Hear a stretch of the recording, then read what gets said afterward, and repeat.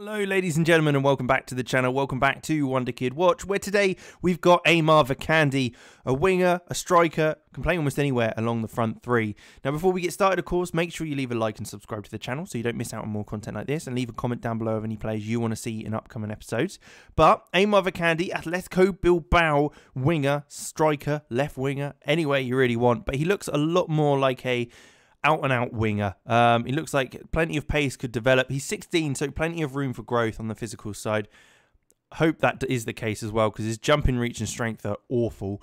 Um, so if anyone comes near him, he falls over. Uh, but otherwise, he's pretty nifty. Got a good bit of dribbling and first touch and heading. Technique's not bad either with work rate there as well. So there are areas which are looking positive at the start. We can also see that his potential is 148, so could be massive in growth. Uh, and starting at 77, it's a long way to go, but we'll certainly see how far he can go to the stage. We'll catch up with him. Um, but with that, let's jump ahead and take a look. Here we are then, 21 years old now, 521 appearances for Spain. Um, can now play a little bit deeper, even at centre back. So I'd love to have seen when that would have been. Now at Villarreal. Um, so he has made the move from Atletico Bilbao off to Villarreal. His physicals are looking so very nice. Agility 19, natural fitness 17. The jumping reach and strength has improved, so that's good to see as well. Uh, some continued with some good dribbling, crossing, first touch, heading. His heading. I mean, that's impressive for a guy that can't jump. Is five for eight.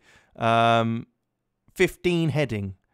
That's kind of ridiculous, I'll be honest. Um, no player traits just yet, but at 21, still plenty of room to improve as well. But over to Villarreal. So he was signed for 650,000, um, played plenty of times for the B team and the C team, uh, and he's only just started to play for the first team, but he is playing for them. Nine appearances, one goal so far this season.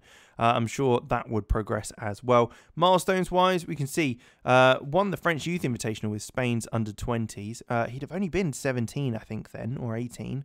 So he's playing at a older age group um, and got his first under 21 international cap against Portugal at the age of 20. So there you go.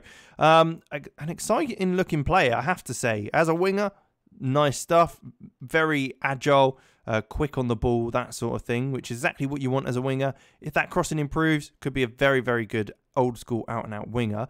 Uh, looking at his attributes, 129 current abilities, so that's that's a big jump already. Uh, and with 148 potential, I mean, if he continues to play with Villarreal, I can see him reaching that potential no problem at all. So it'd be good to to see how that goes.